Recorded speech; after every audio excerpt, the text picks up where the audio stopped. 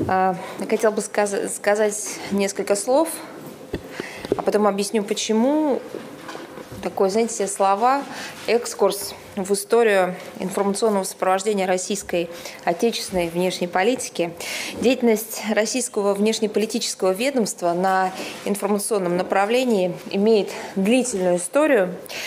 Еще посольский приказ начал готовить такие рукописные э, вестовые письма. Это такая была первая русская прообраз, наверное, первая русская газета, в числе источников которой были в том числе иностранные издания.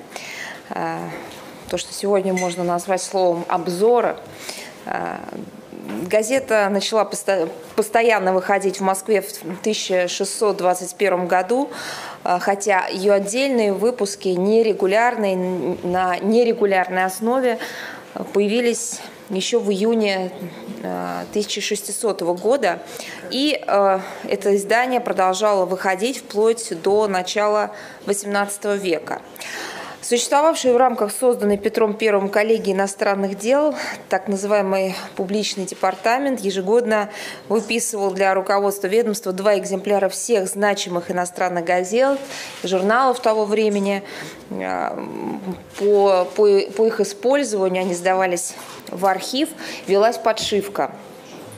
Такая системная же информационная работа, которая была нацелена в первую очередь на разъяснение российских подходов к тем или иным международным вопросам, восходит ко временам императора Александра I.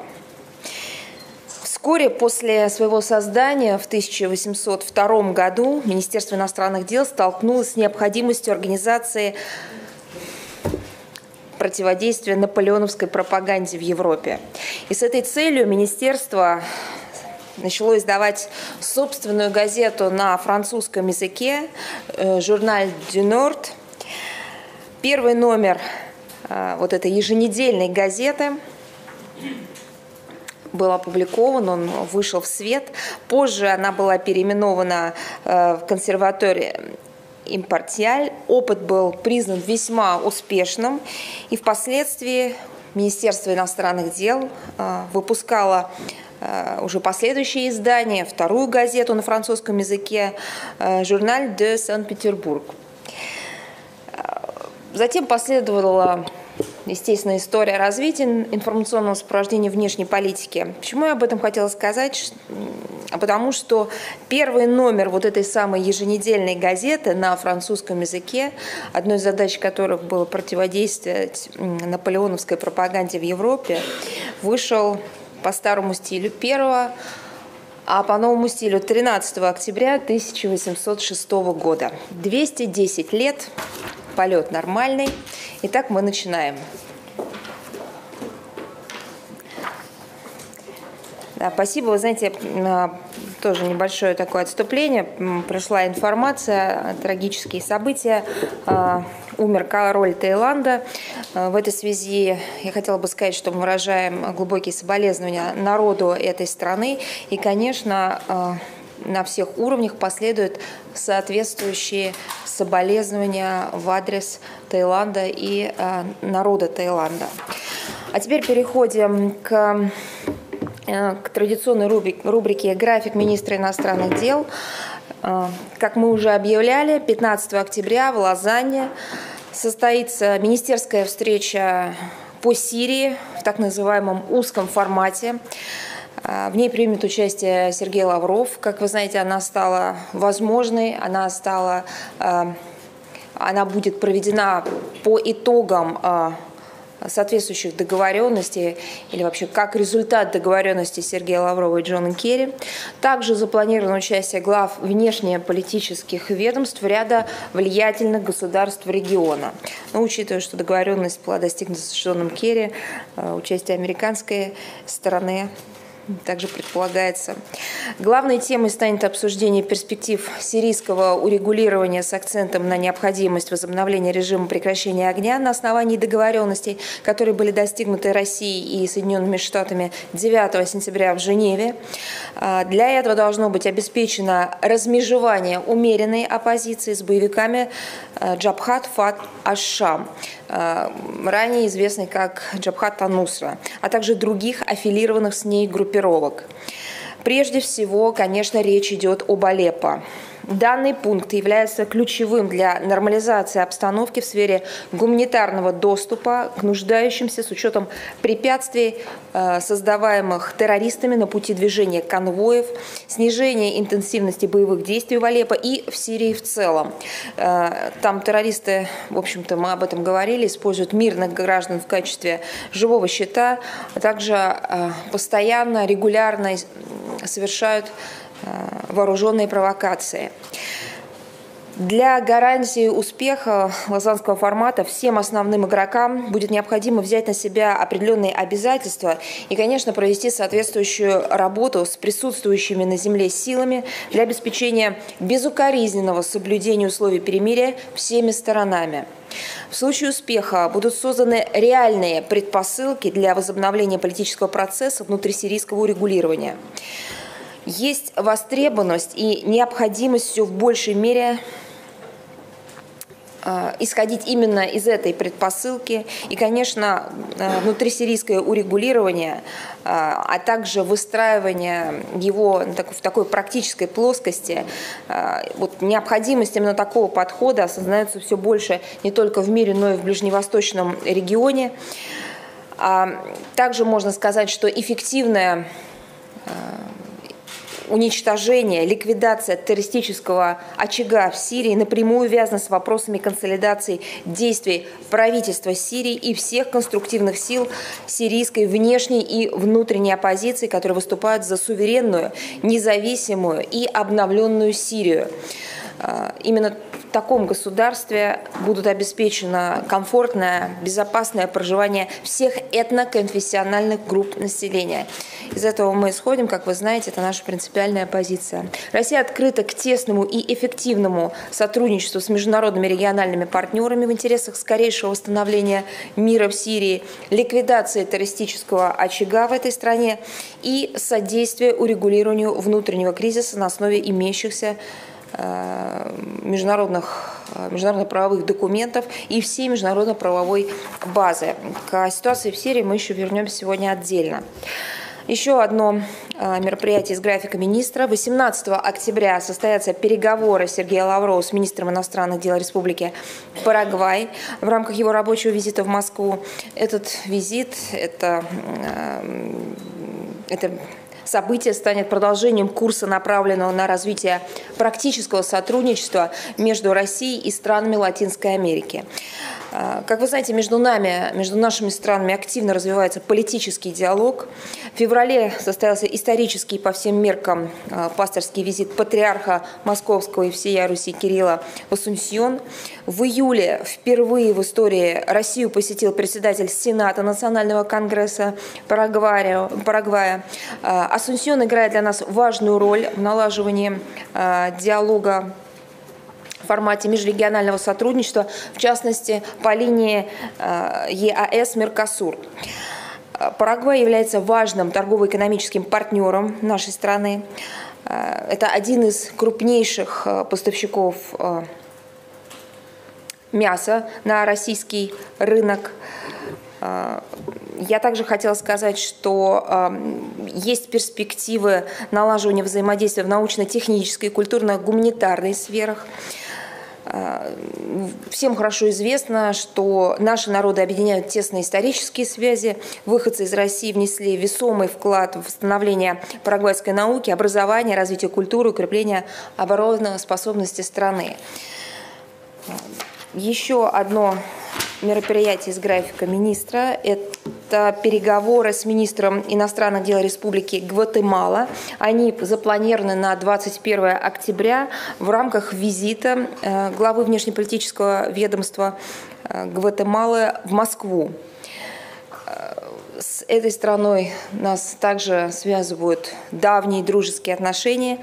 А, именно в этой стране в 2007 году, как вы знаете, было принято решение сессии МОК, прошедшей а, с участием президента Российской Федерации о проведении зимних Олимпийских игр 2014 года в Сочи. А, поэтому, наверное, это такой тоже был очень яркий момент, который, безусловно, войдет а, не только в историю двусторонних отношений, но, конечно, и в российскую историю.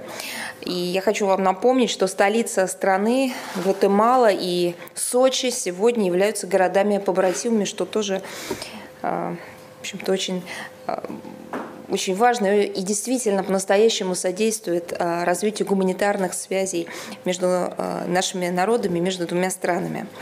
Центром духовной и культурной жизни российских соотечественников в Гватемале стал а, православный монастырь Святой Живоначальной Троицы Лавра Мамбры я хотела бы вам сказать, что э, его настоятельница Инес Аяу за свою подвижническую деятельность награждена Российским орденом дружбы. Активно работает созданный в 2012 году Российско-Гватемальский центр изучения истории и культуры народа майя имени Юрия э, Кнорозова. Наши страны нацелены на углубление конструктивного политического диалога на двустороннем уровне и, конечно, многостороннем формате, а, в том числе в рамках взаимодействия России с региональными объединениями, Центрально, Центральноамериканской интеграционной системы, налаживание торгово-экономического, научно-технического сотрудничества, расширение культурных, гуманитарных связей. Практические шаги на этих направлениях станут главной темой предстоящих переговоров Сергея Лаврова и его гватемальского коллеги. И, как становится как вы также знаете, и мы без, обязательно э, дополнительный материал э, ближе к переговорам опубликуем. Э, наше взаимодействие весьма разностороннее. Теперь переходим к событиям и к мероприятиям по линии э, заместителя министра иностранных дел. 20-21 октября заместитель министра иностранных дел Российской Федерации господин Мешков примет участие в работе 5-го Евразийского форума в Вероне. Э, Евразийский форум э, проводится это мероприятие в Вероне проводится ежегодно с 2012 года. Итальянская ассоциация «Познаем Евразию» является традиционной авторитетной площадкой для обмена мнениями между представителями государственных структур, экспертами и предпринимателями стран Евразийского континента по наиболее актуальным вопросам мировой политической и экономической повестки дня. Соорганизатором предстоящего пятого Евразийского форума является Российский фонд э, Росконгресс. Среди тем, которые вынесены на обсуждение участников форума в текущем году, геополитические процессы в Большой Европе, экономика и финансовые условия глобального кризиса, рынок энергетики в перспективе до 2020 года, новые модели экономического сотрудничества, инновационная инфраструктура в Большой Евразии, сельское хозяйство и агропром, новые рубежи, межрегиональное сотрудничество – как двигатель развития. Ожидается, что в работе форума примут участие представители Российской Федерации, Азербайджана, Армении, Беларуси, Великобритании, Италии, Казахстана, Китая, Монголии, Южной Кореи, ряда других стран. И теперь переходим к региональной проблематики. Разви... Хотела бы сказать несколько слов о развитии ситуации в Сирии. Мы с беспокойством следим за развитием военно-политической обстановки в этой стране. Особенно напряженная ситуация, как мы уже сегодня говорили, э, в Алеппо. Боевики незаконных вооруженных формирований, тесно связанных с террористами Джабхата Нусры, предпринимают отчаянные действия с целью э, деблокирования окруженных восточной части города сирийскими военными банд формирований э, и экстремистов удержание занимаемых позиций, переброски подкреплений, оружия, боеприпасов из столовых районов к линии боестолкновения. При этом террористы обстреливают жилые кварталы из стрелкового оружия, кустарных, и трофейных реактивных систем залпового огня, а также минометов. В результате таких неизбирательных атак ежедневно гибнут люди. Правительственные силы активно продвигаются по нескольким направлениям, дом за, дом за домом, зачищая восточный Алеппо от бандитов. Для того, чтобы мирные жители могли покинуть город, устроены специальные гуманитарные коридоры – Но проблема и даже трагедия заключается в том, что поступы к ним террористы заминировали. Мирных жителей, как мы уже неоднократно говорили, и об этом говорили сегодня, тоже э, прямую используют как живой щит. Ведь э, все прекрасно понимают, и, к сожалению, понимают это боевики в первую очередь, что та самая политическая э, политическая и политическая информационная, политика информационная, пропагандистская завеса, э, которую сейчас э, так активно которой так сейчас активно занимаются их западные спонсоры, э, нагнетая ситуацию, нагнетая просто такую истерику э, вокруг всего происходящего э, в восточных кварталах Алеппо, отвечает прежде всего их интересам, интересах э, террористов, потому что, не потому что ситуация там проста, ясна и близка к своему завершению, Именно потому, что ситуация слишком сложная, а подается она э, в западных средствах массовой информации, с западными политологами, исключительно в каком-то извращенно искаженном свете. И вот это искажение, это отражение в кривом зеркале, оно, конечно, играет на руку самим террористам. Следуя этой же логике, боевики препятствуют поставкам гуманитарной помощи для э, жителей, для гражданских лиц. Экстремистам важнее картина страдания людей. Собственно говоря, для них это живой фон, а, к которому приковано внимание международного сообщества. В некоторых алепских районах а, Салихин, Марджа, э, Фердос Баб Анны Раб, местные жители вышли на улицу, требуя от контролирующих эти места боевиков Джабхата Нусры немедленно разрешить доставку туда продуктов питания. Правительство Сирии официально заявило о готовности армии гарантировать безопасный выход из блокированного восточного Алеппо всем желающим, в том числе боевикам, которым предполагается сложить оружие или уйти в другие районы страны на выбор.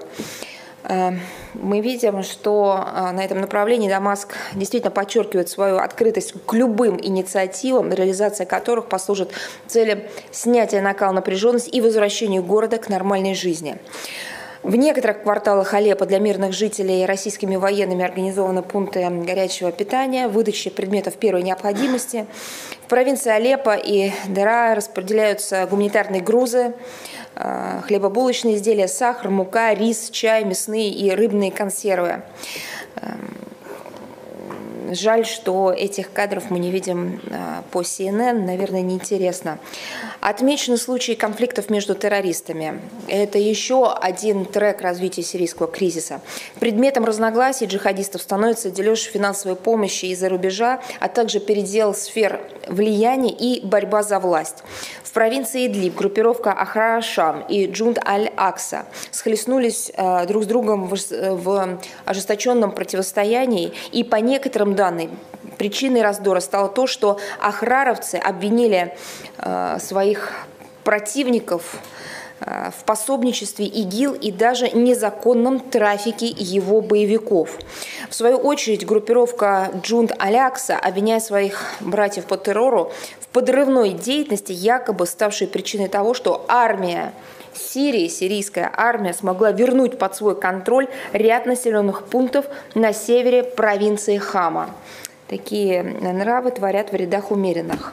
10 октября террористические организации Джабхат Фатх Ашам, а, то, что мы теперь называем э, Аннусрой, то, что раньше называли Аннусрой, а теперь а, после ребрендинга у них появилось новое название, и Ахрар Ашам подписали соглашение.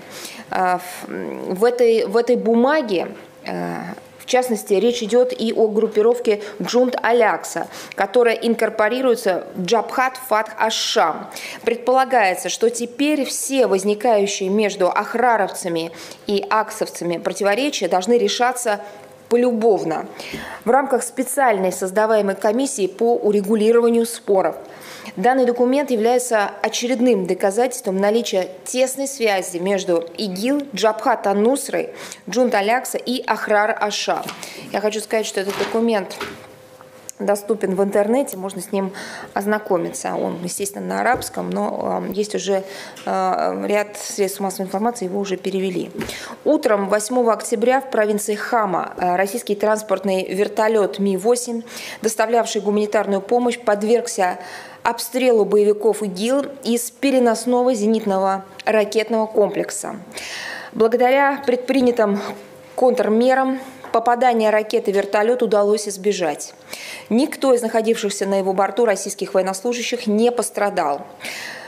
А, мы отметили в этой связи слова некоторых сирийских оппозиционеров, которые потребовали своих региональных спонсоров поставок подчеркиваю, зенитных комплексов вооруженным экстремистам. Мы надеемся, что э, у наших региональных и прочих партнеров хватит здравого смысла не откликаться на подобные призывы.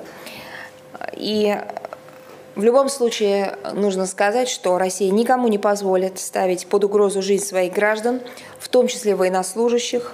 Любые недружественные действия в отношении России не останутся без последствий.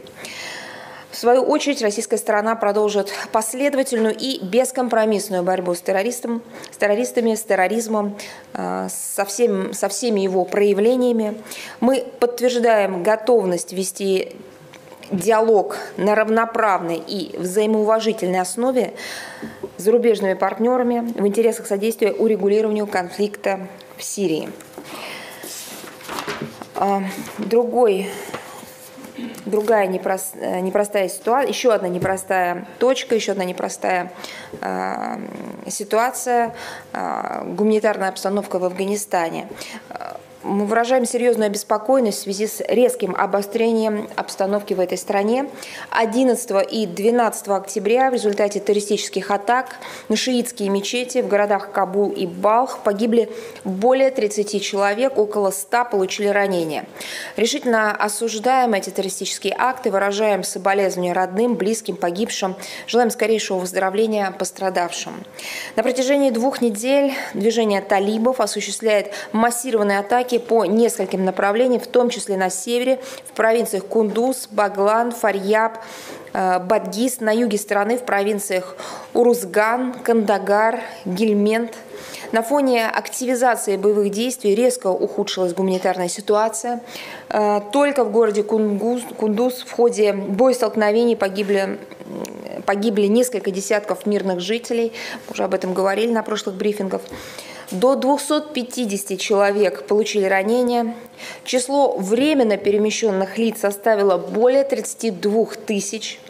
В результате ожесточенных боев в окрестностях э, города Теренкот более 5 тысяч семей остались без крова. В провинции Газни закрыты более 40 школ. В результате около 7 тысяч детей не могут посещать учебные заведения.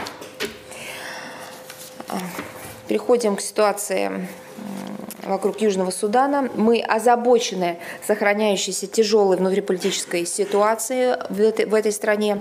Убеждены, что политическому пути достижения мира там нет альтернативы. Призываем южно-суданские стороны незамедлительно прекратить боевые действия, вернуться к неукоснительному выполнению положения, подписанного в августе 2015 года соглашения об урегулировании конфликта. Мы внимательно следим за ходом реализации положений резолюции э, 2304 Совета Безопасности ООН о развертывании в составе миссии организации, Организации Объединенных Наций в Южном Судане, региональных сил защиты и обеспечения благоприятных условий деятельности голубых касок. Официальная Джуба заявляет о готовности выполнять положение данной резолюции. Конкретные вопросы ее реализации сейчас активно обсуждаются представителями Южного Судана, и Организации Объединенных Наций, в том числе в рамках специально созданной технической рабочей группы. Что касается санкций, то 31 мая текущего года Совет Безопасности ООН принял резолюцию 2290 о продлении на год действия адресных санкций в отношении Южного Судана. Россия ее поддержала, твердо выступив против включения в текст положений по сути предопределяющих расширение санкционного режима Совета Безопасности ООН в отношении Республики Южный Судан, включая введение оружейного эмбарго. Мы не раз э, высказывали опасения о том, что чрезмерное давление, а тем более санкционный прессинг способны осложнить достижение этих задач и ужесточить позиции южно-суданских сторон. Россия принципиально не приемлет ситуации, когда вместо серьезной политико-дипломатической работы кто-то пытается произвольно использовать санкции, тем более э, со стороны Совета Безопасности ООН. Давайте не забывать о потребностях правительства Южного, Южного Судана в деле обеспечения безопасности, законности и правопорядка в стране. Э, кстати, генеральный секретарь в последнее время не обращался к Совету Безопасности э, с призывом расширить южно-суданский санкционный режим. Не слышали мы от секретариата и заключения о том, что официальная Джуба препятствует развертыванию региональных э, сил защиты. Поэтому получается, что наказывать Южный Судан пока не за что. Об этом свидетельствует и письмо правительства Республики Южный Судан от 30 сентября по спреду США при ООН Саманти Пауэр. Э, это письмо, к сожалению, было распространено среди членов Совета Безопасности лишь 11 октября. В целом же мы выступаем за э, выверенные политико-дипломатические шаги в поддержку мирного процесса в Республике Южный Судан. Поддерживаем инициативу межправительственной организации по э, развитию Восточной Африки, по укреплению безопасности в Южном Судане, включая учреждение региональных сил по защите. Исходим из того, что упомянутая мной межправительственная организация и секретариат ООН продолжит конструктивную работу с Джубой с целью выхода на приемлемые э, такой при, приемлемые варианты развертывания региональных сил по защите при уважении суверенитета Южного Судана и соблюдении базовых принципов миротворчества Организации Объединенных Наций. А, я еще хотела бы прокомментировать то, что сейчас происходит в российско-американских отношениях. Делаю это с большим сожалением, потому что хороших новостей нет. Мы с сожалением наблюдаем за тем, как а, Вашингтон продолжает разрушать двусторонние отношения. А, практически ежедневно мы слышим угрозы дальнейшего расширения санкций, причем призывы к мировому сообществу пойти этим же путем. А, мало того, не скрывается, что основной целью э, вот этой санкционной политики является нанесение ущерба экономике Российской Федерации. Пентагон активно наращивает свое присутствие вдоль границ России. А в, сам, в самих Соединенных Штатах, Штатах, как вы знаете, как вы слышите ежедневно, уровень русофобской пропаганды, э, она исходит с самого верха, начинает просто уже зашкаливать.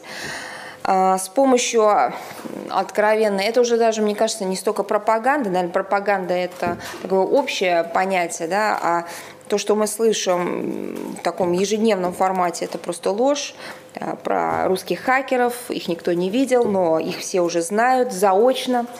А, так вот, с помощью этих русских хакеров просто вбивается в голову обывателю американскому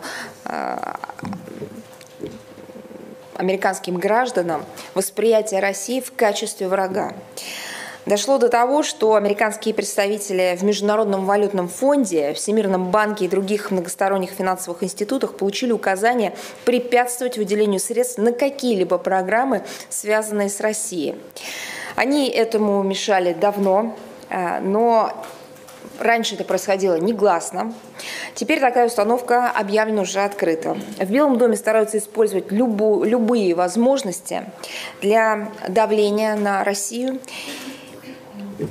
И мало того, делают это за каким-то, знаете, не знаю, с, с каким-то болезненным удовольствием. А, не вынужденно, а как-то очень торжественно. Вот это удивляет. И, конечно, мы прекрасно понимаем, что все эти шаги предпринимаются, исходя из э, внутриамериканских предвыборных раскладов. Вообще, в принципе, все более усиливается ощущение, что э, уходящая администрация Соединенных Штатов применяет к двусторонним отношениям э, тактику такой, знаете, выжженной земли. Это очень опасная политика, она чревата негативными последствиями для международной стабильности, и, конечно, все это до добра не доведет. В любом случае, иллюзий, э, что на Россию можно надавить, э, не должно быть ни у кого, ни у нынешних американских властей, ни у тех, кто придет им на замену. Э, и очень хочется надеяться, что новые окажутся умнее предыдущих. И я хотела бы сказать, а, вот привести конкретику, фактуру, такие вот просто данные а, в связи с обвинениями нашей страны в причастности к совершению хакерских атак на американские сайты. Об этом говорил и президент Российской Федерации, и министр иностранных дел. Ну, разрешите мне э, тоже э, на этом моменте остановиться. 7 октября Управление национальной разведки и Министерство внутренней безопасности Соединенных Штатов опубликовали совместное заявление, в котором Россия в очередной раз обвиняется в причастности к организации хакерских атак на американские политические институты и физических лиц. Каких-либо фактов, аргументов э, в подкрепление этих утверждений американская сторона привести не смогла. Более того, в документе говорится о том, что разведка Соединенных Штатов не может с уверенностью сказать о причастности России. Это цитата. А, вот буквально недавно а, представитель Белого дома сказал, что действительно никаких доказательств нет, но они не нужны, потому что все равно а, Россия будет, э, так сказать, их э, опровергать и так далее. Ну, какой-то вообще уже безумный подход. Вы сначала их предъявите, а потом мы уже поговорим, потому что, извините меня, сразу делать вывод о том, что они будут опровергнуты, отвергнуты, вы за столько времени не удосужились предоставить ни одного вообще, в принципе, материала. Поэтому на этом фоне заявление представителя Белого дома о намерении администрации принять пропорциональные ответные меры в связи с хакерскими атаками на, американские сайты просто вызывает недоумение. То есть Слушайтесь, доказательств причастности России, российских официальных лиц, российской стороны к неким хакерским атакам нет их никто не предъявляет. И эта же ситуация используется как повод ну, видимо, для хакерских атак со стороны Вашингтона. Ну, по крайней мере, другого прочтения здесь я не вижу. А потом, что значит ответные меры? То есть ответные меры – это взломы, это киберпреступления на самом деле – ну, так, чтобы тоже понимать. Надо отметить, что Вашингтон неоднократно предпринимал э, такие подобные обвинения бездоказательные в адрес России, но э, никогда никакой фактуры не предоставлял. Мы считаем, что очень такая порочная практика, но опять же это, видимо, часть предвыборной кампании в Соединенных Штатах. Используется она в интересах одной из политических партий исключительно для набора голосов избирателей. А, вот вопрос, знаете, хочется сформулировать так. После всего того, что мы услышали от Соединенных Штатов по поводу э, киберугроз, хакерских атак, взломов и так далее, вот неужели э, во имя победы э, кандидата и во имя лоббирования интересов одной группы на выборах – администрация готова встать просто на тропу глобального киберконфликта, потому что вот такие угрозы, которые мы слышим, иначе как киберконфликтом назвать сложно. Я хотела бы обратить внимание, что в 2013 году между Россией и США было заключено соглашение о мерах доверия в сфере использования информационно-коммуникационных технологий, которое нацеливает стороны в случае возникновения каких-либо подозрений в совершении хакерских атак с территории одной из стран задействовать установленные между Россией и США каналы связи, так называемые горячие линии, в том числе, а, в том числе и а, на а, высоком политическом уровне. Все это закладывался, весь этот механизм разрабатывался для устранения любых сомнений и недоразумений, а главное для совместного разрешения спорных ситуаций. Но теперь я хотел бы действительно привлечь ваше внимание. Ни по одному из трех официальных каналов к нам не поступало никаких запросов, а уж тем более обвинений в совершении хакерских атак на какие-либо сайты в Соединенных Штатах Америки.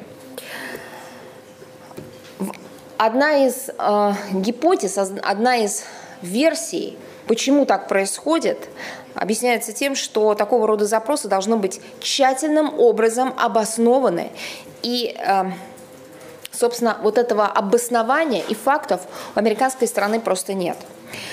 Я хотела бы в очередной раз напомнить нашим американским коллегам, что на протяжении года Россия неоднократно предлагала администрации Соединенных Штатов провести в межведомственном формате двусторонние консультации по вопросам борьбы с противоправными действиями в информационном пространстве.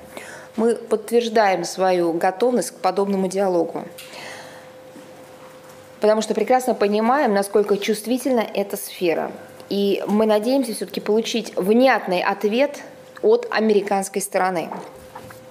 Очевидно, что в этом контексте особое значение приобретает необходимость выработки правил ответственного поведения государств в информационном пространстве. Именно Российская Федерация совместно с государственными Шанхайской организацией сотрудничества была инициатором разработки э, подобных правил – Э, которые нацеливают государство на предотвращение конфликтов в информационном пространстве, закрепляющих принципы уважения государственного суверенитета, а также обязательство государства не использовать информационно-коммуникационные технологии для вмешательства во внутренние дела. Данные правила, распространенные в виде официального документа Организации Объединенных Наций, открыты для присоединения всех государств. Особая роль в выработке подобных правил отводится действующей под эгидой ООН группе правительственных экспертов по международной информационной безопасности. Мы рассчитываем, что группа, в которую входят эксперты от 25 стран, в том числе России и США, сможет подготовить проект резолюции Генассамблеи ООН по правилам, проведения госу... Э, правилам поведения государств в информационном пространстве, э, который, как мы надеемся, поддержит все государства-члены Организации Объединенных Наций. Мы очень надеемся, что здравый смысл в Вашингтоне все-таки возобладает, и он не будет, а, я имею в виду администрацию, уходящая администрация не будет действительно веди, вести дело к такой глобальной киберконфронтации. Все механизмы для решения любых сложных, спорных, возникающих вопросов существуют. Им просто надо пользоваться. Но здесь возникает еще один момент. А пользоваться можно только тогда, когда у вас действительно в руках есть факты и доказательства. Если это все а, из разряда придуманного, то, конечно, разговаривать не о чем. А, еще одна тема. Мы неоднократно поднимали ее, э, публикуя соответствующие рекомендации на э, сайте Министерства иностранных дел. Даже речь у нас заходила и в ходе брифингов э, на эту тему. Речь идет об отказах гражданам, российским гражданам по въезде в Республику Корея по следующим причинам. В последнее время все большее количество россиян пытается въехать в Республику Корея с целью трудоустройства, используя при этом безвизовый режим краткосрочных поездок между нашими странами. Еще раз напоминаем, хотя делали это неоднократно, соглашение между правительством Российской Федерации и правительством Республики Корея о взаимной отмене визовых требований от 13 ноября 2013 года не предусматривает безвизовый въезд с целью осуществления трудовой деятельности. Несоблюдение этого положения ведет к отказу иммиграционной службы Республики Корея во въезде на территорию страны и возвращению нарушителей в пункт отправления часто с закрытием въезда в Южную Корею на длительный срок. При этом все расходы, связанные с временным пребыванием в транзитной зоне и приобретением обратного билета, оплачиваются гражданином самостоятельно. Обращаем также внимание, что в случае отказа во въезде э, в страну гражданин обязан вылететь в пункт отправления рейсом той же авиакомпании, которую он прибыл в Корею. Еще раз призываем э, не верить обещаниям недобросовестных работодателей, агентов, которые якобы предоставляют гарантии беспрепятственного прохождения миграционного контроля в Республике Корея. Э, еще раз напоминаем, что вся ответственность за нарушение миграционного и и нового законодательства лежит на самих гражданах. Я на этом хотела бы завершить и перейти к вопросам. Да, пожалуйста. Елена Деслова, информагентство «Анадолу». А, министр экономического развития Алексей Люкаев сказал, что они передали в МИД предложение по отмене визового режима для турецких бизнесменов. Вот подтверждаете ли вы получение и как будете определять, кто бизнесмен, а кто нет? Спасибо. Ну, э, э, я хочу сказать, что я должна уточнить эту информацию. Я обязательно вам предоставлю ответ. Сейчас у меня, к сожалению, таких данных нет. А что касается определения, кто бизнесмен, кто не бизнесмен, это э, обычная рутинная практика соответствующих консульских учреждений. Да, пожалуйста. Муртада Крым, извините, пожалуйста, хотел э, слышать ваши комментарии о сейчас сложной эскалации между Ираком и Турцией и как Россия смотрит на присутствие войски, турецкие войски в иракских территориях. Спасибо вам. Ну, мы считаем, что сейчас э, любая эскалация э, напряженности, к сожалению, только усугубляет э, просто взрывоопасную ситуацию в регионе. Есть МГПС, есть двусторонние каналы взаимодействия, есть Организация Объединенных Наций, есть все для того, чтобы, наоборот, содействовать снижению напряженности, а не ее нагнетанию. Поэтому здесь нужно, мне кажется, исходить из этого. Да, пожалуйста. А, Балашов Алексей, э, Царьград.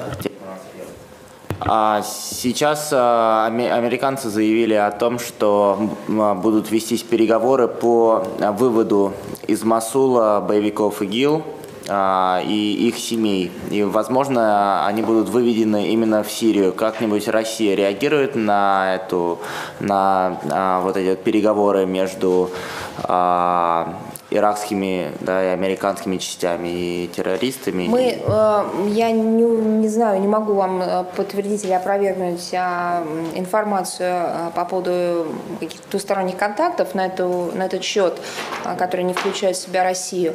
Я могу сказать, что была такая инициатива спецпредставителя Организации Объединенных Наций по сирийскому регулированию господина Демистуры.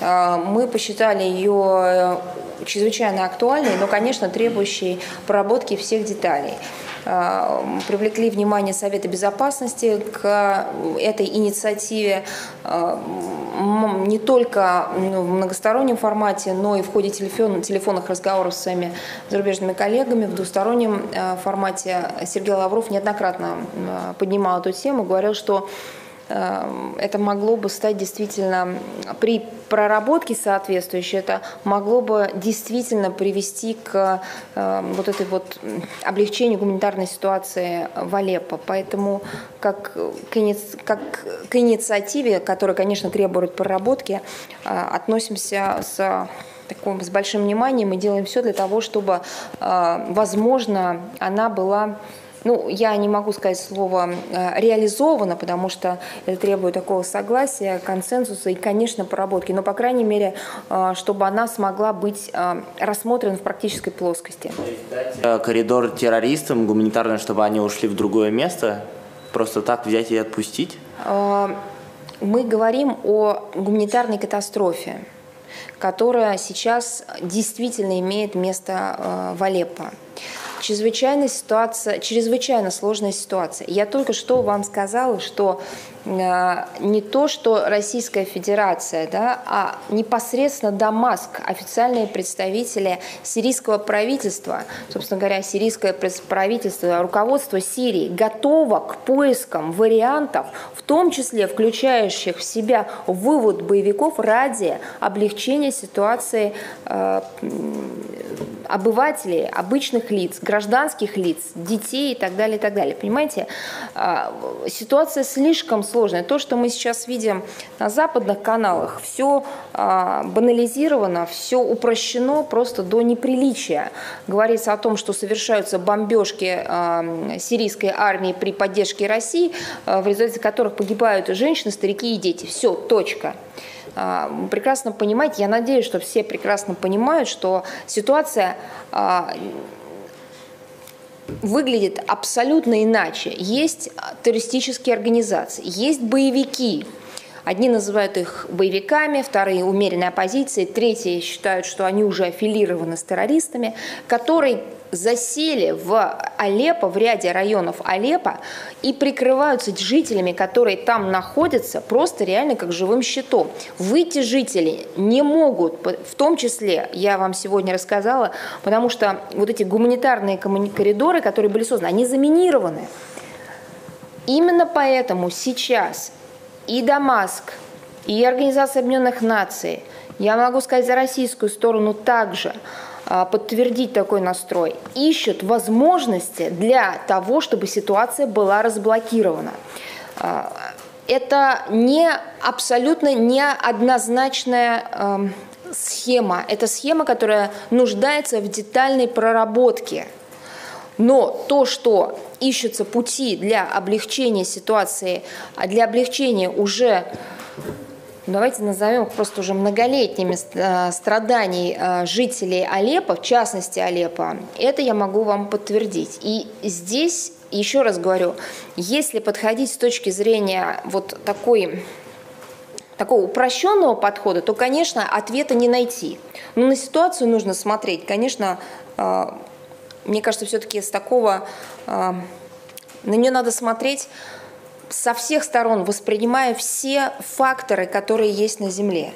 Ну, то есть, получается, Россия, она готова э, вести переговоры вот с теми, кто в Алеппо, в том числе и с террористами? Или, мы готовы, или Россия готова вести диалог только с э, умеренной оппозицией? Я а ответила кто, кто? предельно четко, при этом не уходя на, от ответа на этот вопрос.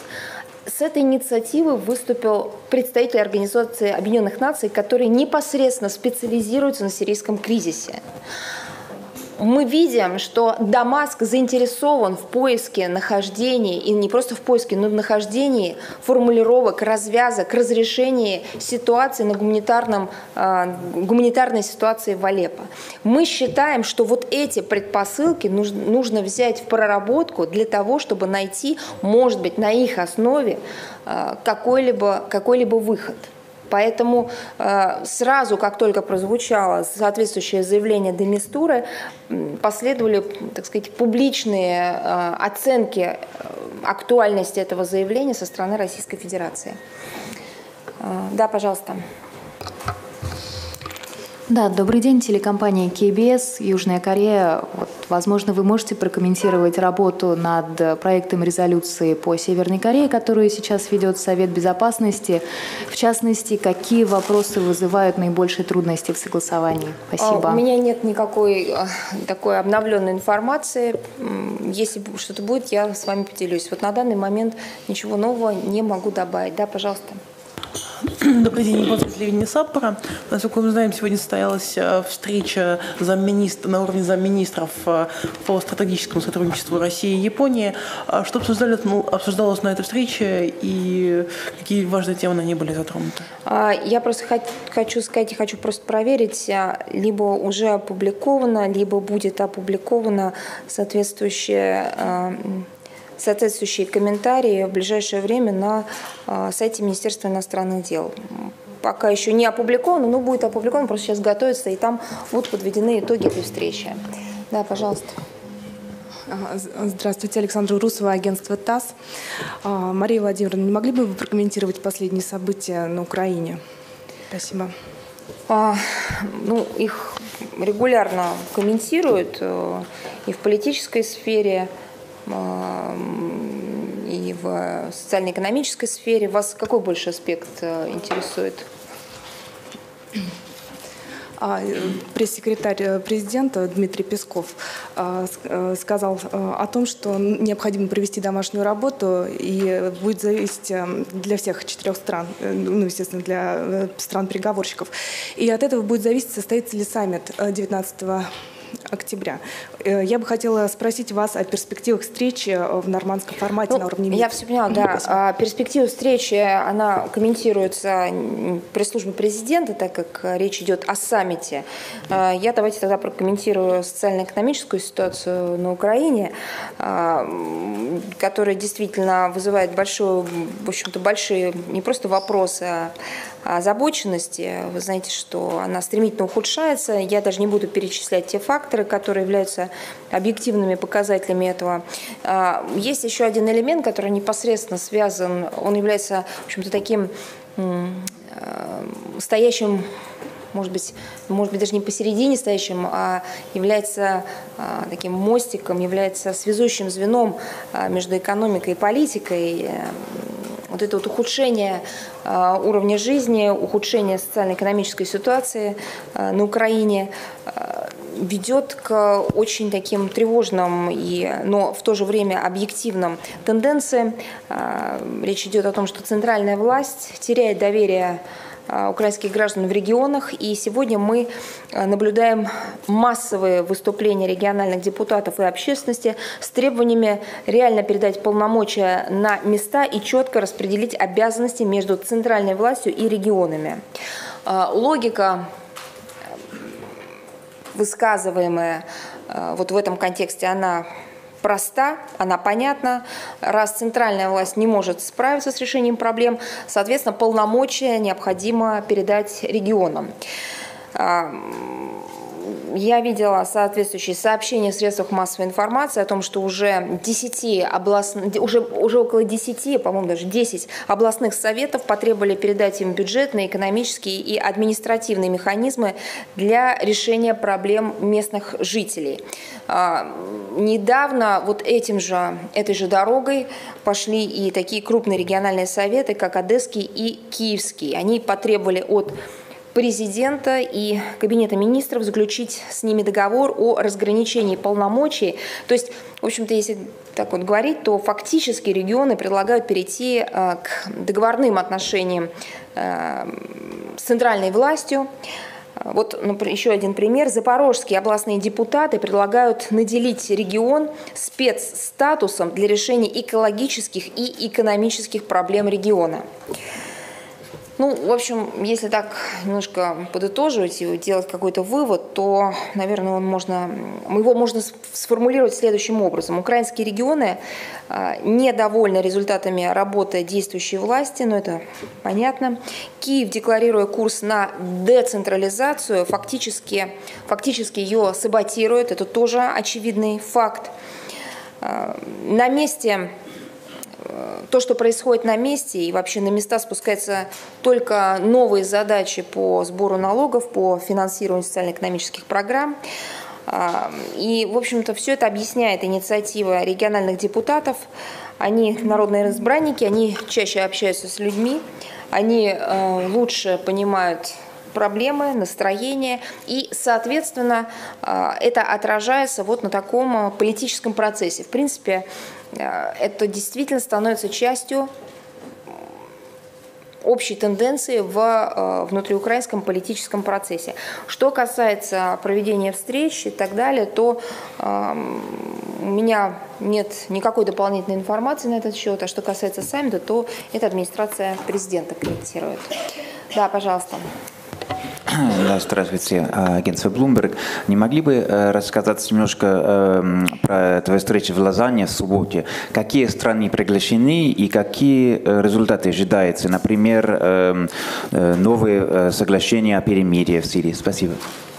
А, я достаточно подробно сказала о том, как мы видим эту встречу. Что касается окончательного списка, а, я думаю, что пока рано говорить. Ну, я могу сказать, что среди а, тех, кто там будет, насколько я понимаю, ну, кроме России и Соединенных Штатов, Скорее всего, речь идет о Турции, Саудовской Аравии. Ну, вот это то, что я могу сказать. А остальные страны, это я думаю, что, а, скорее всего, а, список будет уточняться, и ближе уже к самому проведению этой встречи он будет, он будет объявлен.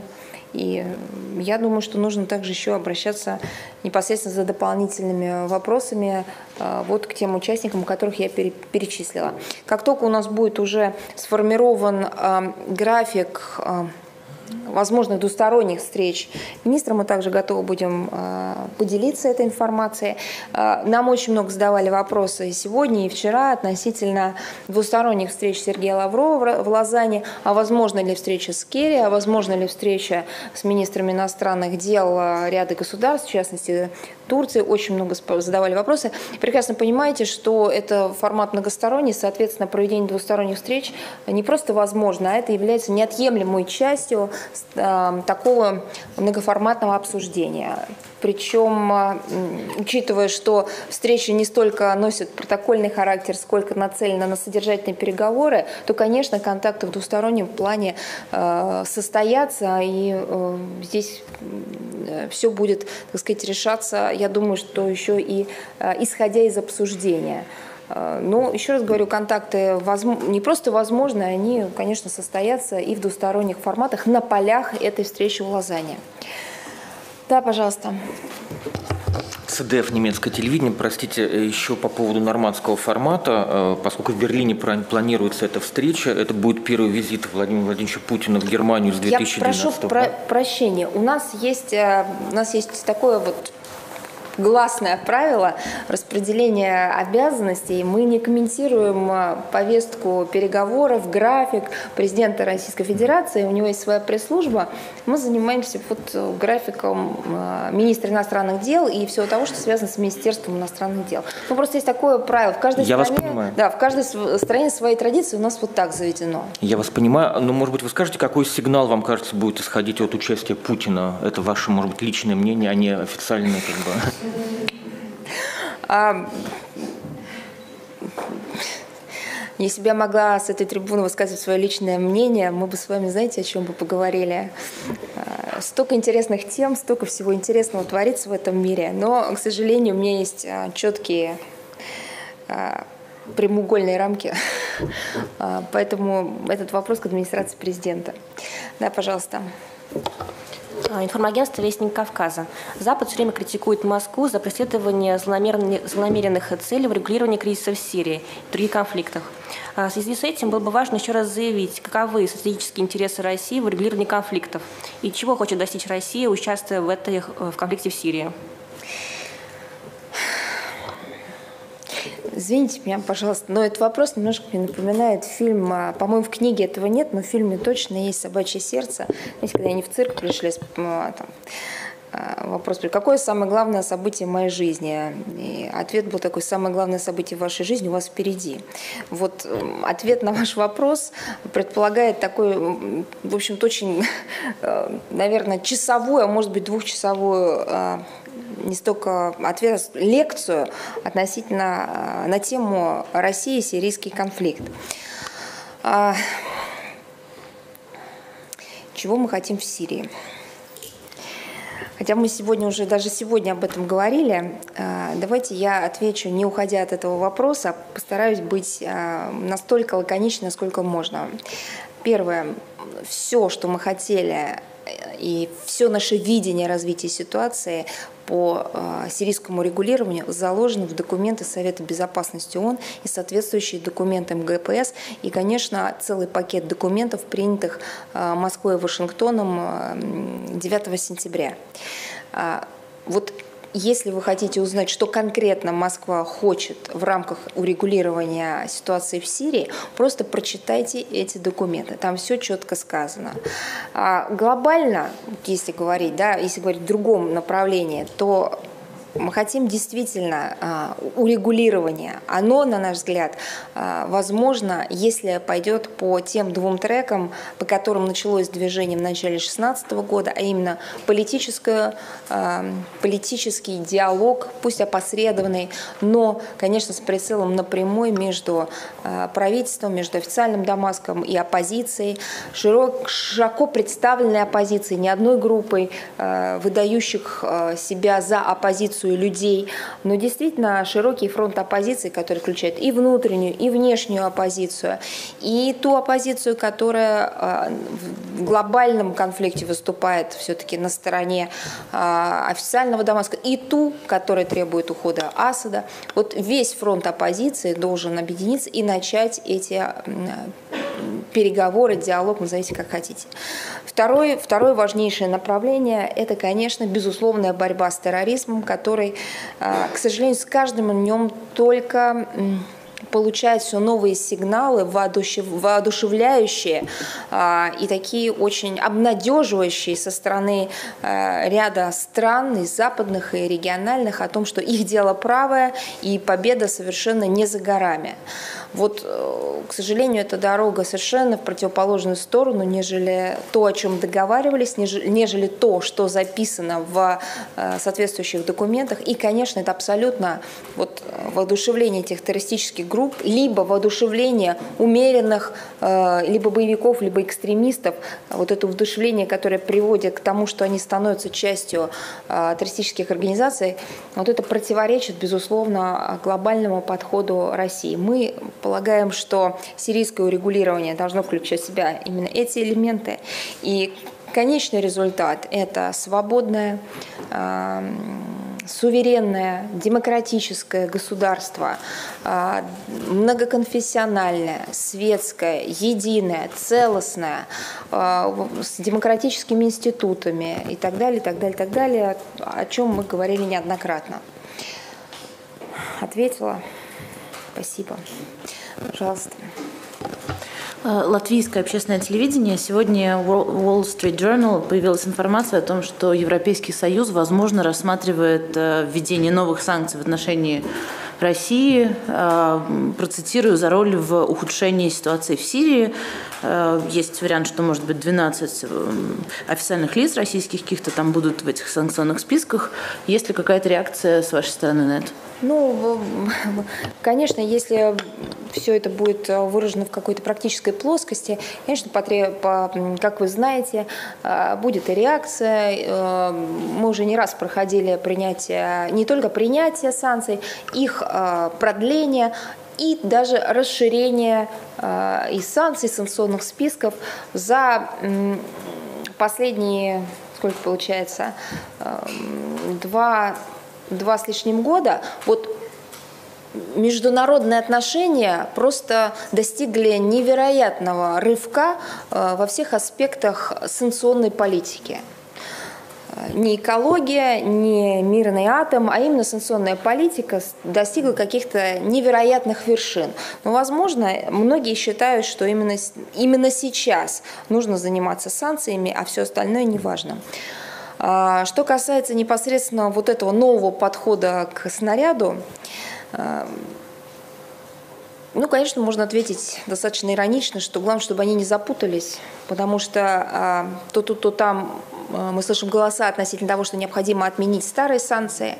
Причем не потому, что полюбили Россию, а просто потому, что они прямую вредят экономике тех стран, которые под ними подписывались. Сейчас идет разговор о новых санкциях. А,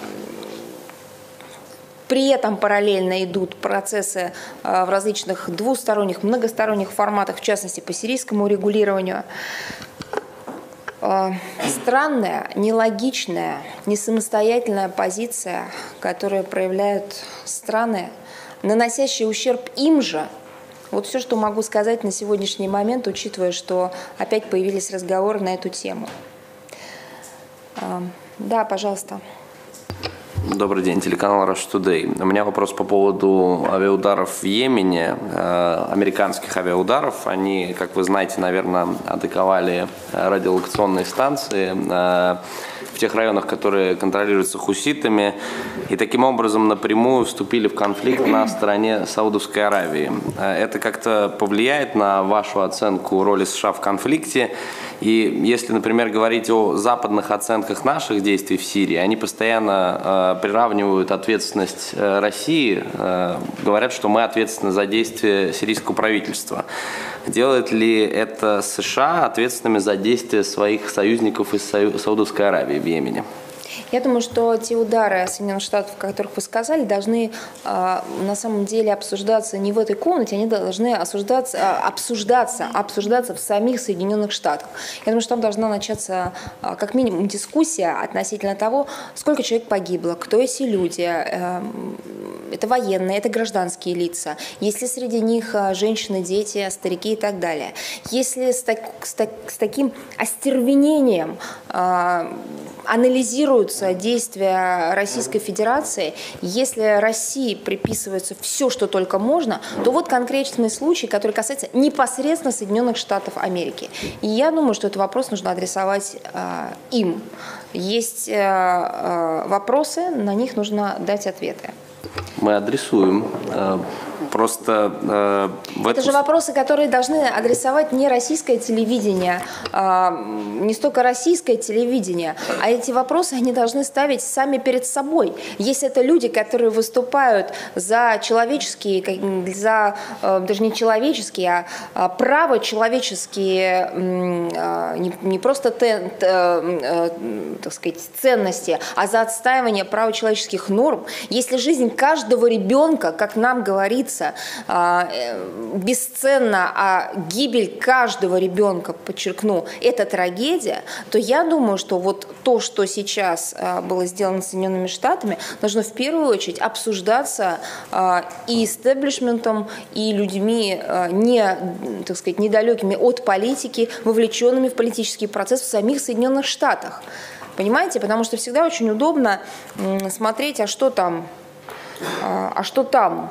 Вот проанализируйте то, что у вас сейчас и вашу вовлеченность а, в региональные процессы. Это первый момент. А вообще, вот, знаете, мне все время, когда я слышу а, вот эти вот разговоры со стороны наших американских коллег, анализ наших действий, обвинения, все время того, что происходит в регионе, Сирии и так далее, все время хочется сказать, а вы-то там что делаете? На каком основании вы там находитесь? И почему вы считаете себя вправе комментировать то, что э, происходит, допустим, по линии контртеррористической операции Российской Федерации, которой есть на это законное основание? Э, вот это большой вопрос э, к коалиции, к странам, которые входят э, в коалицию. Вы-то там что забыли? Ведь вы э, два года назад прибыли в ту же самую Сирию под знаменами борьбы с терроризмом. Где эта борьба? Может быть, вы отчитаетесь? Вы находите, во-первых, находитесь там без какого-либо законного основания вас туда никто не приглашал, вам не выдавали мандат на э, присутствие в этом регионе, в частности в Сирии. Второй момент. Раз уж вы там под благим предлогом туда э, пришли, так вы хотя бы за два года расскажите о том, что вы сделали. Пока мы видим э, не просто попытки, а конкретные шаги и очень агрессивные, направленные на сохранение некой умеренной части оппозиции, которая все больше и больше напоминает просто оголтелых боевиков и террористов.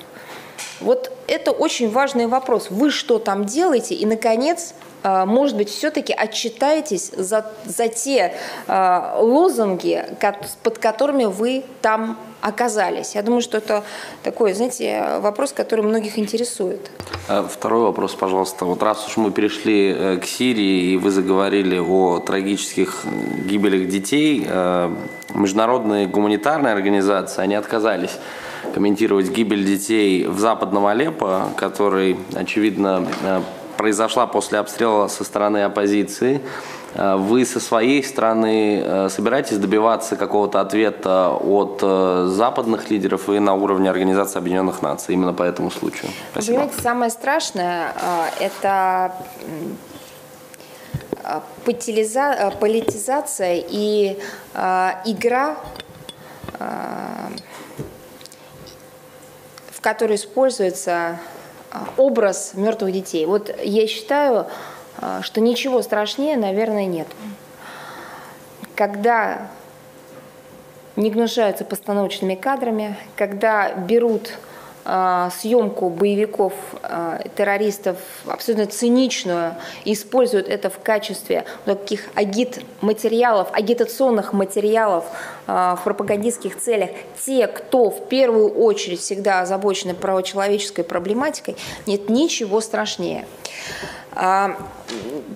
Никакого вот этого безумия, истерики относительно того, что вот здесь показали одних детей, а э, надо будет э, представить какие-то материалы про других детей только для того, чтобы сделать какой-то ответный шаг, конечно, не будет. Вопрос о детях, гражданских лицах, вообще гражданском населении, в частности, в Сирии, мы ставим а, постоянно в соответствующих профильных институтах. Речь должна идти о другом. И я думаю, что мы сегодня обязательно об этом поговорим. Здесь экран установлен. Здесь речь идет о другом, что это не должна быть, понимаете, не должно быть э, обмен вот этими фотографиями. Должно наконец-то прийти осознание, что ребенок, который погиб, он не исповедовал ни одного политического течения. Он вообще не понимал, что происходит, почему он находится здесь, а уж тем более, от чего он погибнет. И когда мы видим просто спекуляции на этой теме, то это, конечно, это просто страшнее, этого ничего не может быть. И задача заключается в том, на мой взгляд, чтобы сказать, что дети есть и в Западном Алеппо, и в Восточном Алеппо. Дети есть в Сирии, дети есть в Йемене, а, дети есть в Европе, дети есть везде. И вне зависимости от того, э, в какой части и от кого погибают эти дети, главное нужно сделать, это сделать все возможное для того, чтобы предотвратить или сделать, ну просто максимально, э, максимально сделать все возможное для того, чтобы подобные вещи не повторялись. И поэтому тот вопрос, который был задан, неужели вы готовы обсудить, обсуждать выход боевиков – неужели для вас эта тема имеет а, под собой какое-то основание? А, да, имеет потому что мы не живем от фотографии до фотографии. Я вам честно могу сказать, что мы получаем эти материалы и видим эти материалы просто в ежедневном режиме.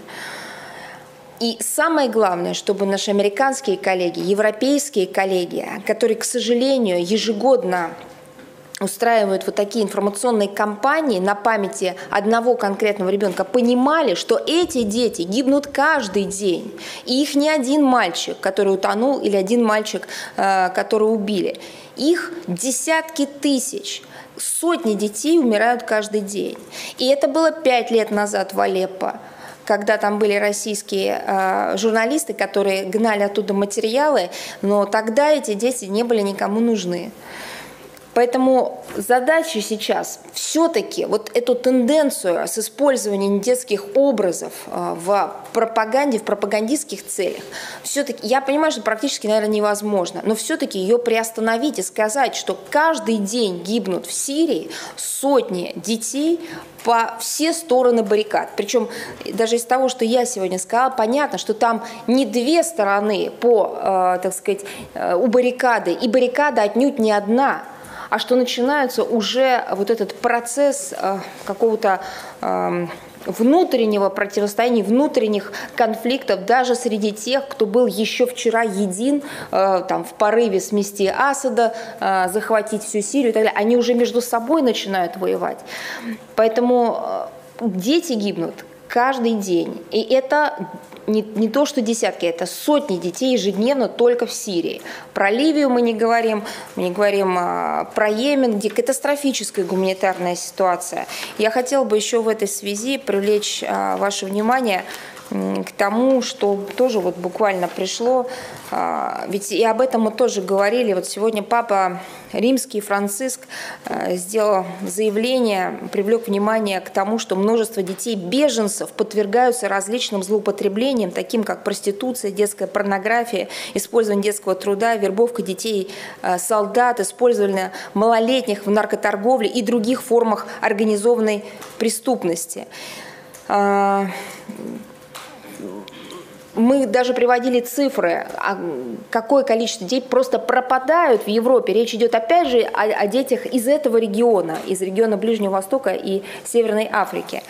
Поэтому э, кощунственным выглядят ситуации, когда берется фотография одного ребенка и э, раз в год привлекается внимание э, к, фото, к этой фотографии. Э, потом, правда, вообще оказывается, что это все постановки, но эти люди, которые берут в руки эту одну фотографию, либо ставят ее на экран, должны понимать, что таких детей, извините, я повторю, наверное, третий раз, их сотни, их сотни, и гибнут они просто вот ежедневно. Извините за такой очень эмоциональный ответ. Есть ли еще вопросы? Да, пожалуйста. Али Нури из ливанского канала Аль-Маядин. Э, вопрос. Как вы прокомментируете сообщение о том, что спецслужбы Соединенных Штатов и Саудской Аравии э, договорились подготовить коридор для ИГИЛ, э, чтобы выйти из Ирака в Сирию в связи с ситуацией ну, в Ираке там? Из Ирака в Сирию? Да. Я не, не у меня нет комментариев, я не видела этих сообщений, у меня нет, я должна посмотреть, прочитать, и тогда смогу э, дать соответствующий комментарий. Просто э, мне нужно понять, о чем идет речь. Есть еще вопросы? Да, пожалуйста. День добрый, Мария Владимировна. Если позволите, пару вопросов. Э, ежегодно 27 июня Республика Таджикистан отмечает государственный праздник День национального применения, э, установленный указом президента э, Таджикистана Эмоль Рахмоном 1998 года после после окончания пятилетней гражданской войны в Таджикистане 27 июня 1997 года в Кремле конфликтующие стороны подписали соглашение, общее соглашение о установлении мира и национального согласия в Таджикистане главным э, гарантом э, являлся, являлся Россия. Э, особо хотел бы отметить и выразить искреннюю благодарность, огромную и историческую, творческую заслугу ряд сотрудников МИДа и государственных деятелей России в этом, по этому поводу. Одним из ключевых э, а, а, партнеров была Россия. Главным механизмом реализации общего э, согласия тогда стала комиссия по национальному применению, которая привела к власти вооруженную оппозицию. Им выделили 30% мест в органах исполнительной власти после чего оппозиционные силы резко прекратили боевые действия, э, начали примкнуться к власти э, и наступило долгожданный мир в Республике Таджикистан. Вопросы. Я уверен, что, э, что в Сирии точно так и будет. Вопрос. Как вы считаете, целесообразно ли применение Э, такого исторического э, политического опыта Республики Таджикистан в урегулировании конфликта э, с оппозицией в Сирии. И, и уместно ли при, привлечь к этим переговорам таджикскую и как а, активную эту страну, российскую, российскую сторону, которая имеет большой опыт в подобных ситуациях. Как вы смотрите на такой вариант? Ну, Спасибо большое. Российская страна уже привлечена к сирийскому да. регулированию. А, что касается усилий Таджикистана, то, понимаете, эти процессы открыты. И отвечая на ваш вопрос, подчеркиваю, отвечая именно на ваш вопрос, хочу сказать, что это вопрос именно Таджикистана, так сказать, если а, есть такое желание поделиться опытом, то любой политический процесс, любой процесс а, мирного урегулирования открыт для обмена идеями. Спасибо вам большое за оценку усилий Российской Федерации по установлению мира на территории Таджикистана. Это действительно было, это были трагические события в истории вашей страны. А, и действительно, э, так сказать, потребовалось много усилий для того, чтобы а, Таджикистан действительно пришел к миру, пусть так, пусть через кровь, через трагедию, но пришел к миру и получил возможность, и люди в Таджикистане получили возможность жить, развиваться и действительно дорожить тем миром, который сейчас там есть. Поэтому, что касается опыта, то, конечно, опыт любого предотвращения конфликта или урегулирования конфликта, он всегда является залогом э, того, что э, у соответствующей страны есть э, возможность, есть потенциал э, для участия в решении какого-то иного международного конфликта или иного конфликта. Так что это опыт позитивный. Да. Если э, вопросов больше нет, я, вы знаете, хотела бы завершить, хотя вопрос этот прозвучал ранее, но я хотела бы действительно сказать несколько слов относительно проблематики, которую э, сейчас затронул наш коллега. Как вы видели вчера, э, в ходе интервью Сергеем Лавровым, ведущая телеканала CNN Кристина Аманпур предъявила фотографию сирийского мальчика Амрана Дакнейша. Вы видели, наверное, она достала эту фотографию, показала. Его достали 17 августа из разрушенного дома в Алеппо. И российский министр, а ранее наше Министерство обороны уже комментировали эту историю, эту трагедию. Я не буду повторяться, можно прочитать об этом. А, я хотела бы коснуться данной истории с другого ракурса. Мы, в принципе, об этом начали уже говорить сегодня. Речь идет об избирательном использовании средствами массовой информации детей, их образов, в данном случае не просто образ, конкретный ребенок, а, в качестве пропагандистского инструмента. А, источником сюжета и вообще источником всей вот этой вот пропагандистской машины а, стал так называемый сирийский а, медиа-активист. Именно так он сам себя называет Махмуд Руслан. И фотография, и видео разошлись по всем мировым средствам массовой информации. Я напомню, что произошло это 17 августа.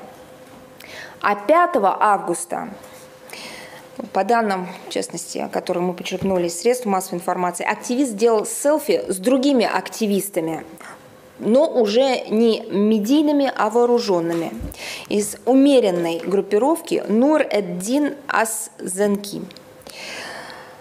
Мог ли он не знать о судьбе другого мальчика, 11 или 12-летнего палестинца с капельницей на руке, которые вот эти вот умеренные за пару недель до этого забрали из госпиталя и которому перед камерой отрезали голову.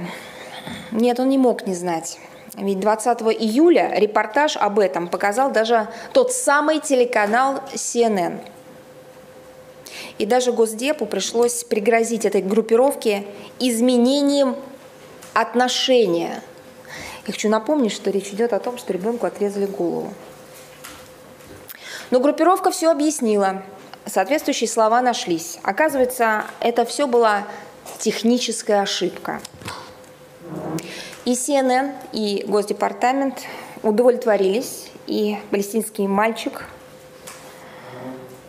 в широкий прокат, у меня других слов нет, а, не попал и не стал лицом бесчеловечной сущности вот этой самой умеренной оппозиции. К сожалению, мы не увидим лиц 16-летней Айи, 6-летнего Абдалы, 12-летнего Мохаммеда – и других детей, которые погибли два дня назад в Дараа от обстрела так, так называемых умеренных. И семилетний глухонемой мальчик из западного Алеппо, который в результате обстрела умеренных остался без ноги, тоже не станет символом телеканала CNN. И я очень сильно сомневаюсь, что журналист Аманпур кому-нибудь когда-нибудь вручит фотографии этих детей. Я говорю это не для того, чтобы, как уже сказала, обменяться фотографиями. Понимаете, нужно один раз понять, что у детей, у них нет политического окраса. И бирки у них нет, кому они принадлежали и кому они сочувствовали. У этих детей есть отцы, есть матери. У них была жизнь, но ее не стало – я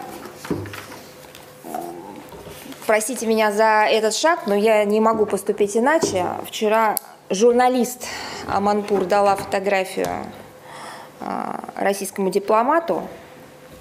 Сегодня российские дипломаты раздадут журналистам фотографии того, что творится в Сирии. А, я вас прошу это сделать прямо сейчас, а, чтобы вы понимали, посмотрели на эти фотографии и, может быть, передали на снимках в, соцсети, может быть, выложите, может быть, отправите по имейлу. Это фотографии, которые они были сделаны не сегодня. Они были сделаны, это очень важный момент, они были сделаны не в ответ на то, что вчера показал Аманпур. Эти фотографии э, мы имели давно, эти фотографии э, у нас были давно. К этим фотографиям мы пытались привлечь э, внимание журналистов и общественности на протяжении нескольких лет. Они сделаны совершенно э, и в разных географических точках э, и так далее, и так далее. Они были на выставках, э, они были в экспозиции и так далее. Но они никого почему-то не, не привлекали. Возможно, возможно, сегодня. Да, пожалуйста, не, не стесняйтесь. Я на этом вас оставлю. Посмотрите, пожалуйста, эти фотографии. Спасибо.